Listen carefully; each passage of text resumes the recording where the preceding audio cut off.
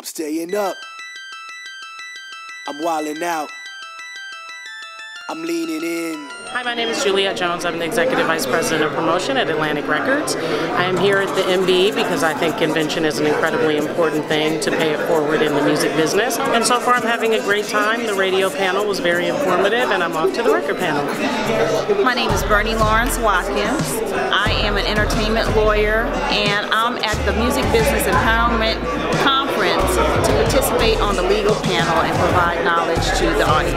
This is a great conference to get a lot of information about being an independent artist, learning about the music industry. So get on your game, get down to the Music Business Empowerment panel, and become knowledgeable.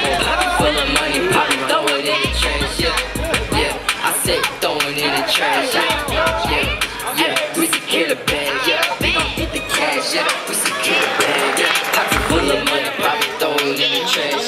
Pocket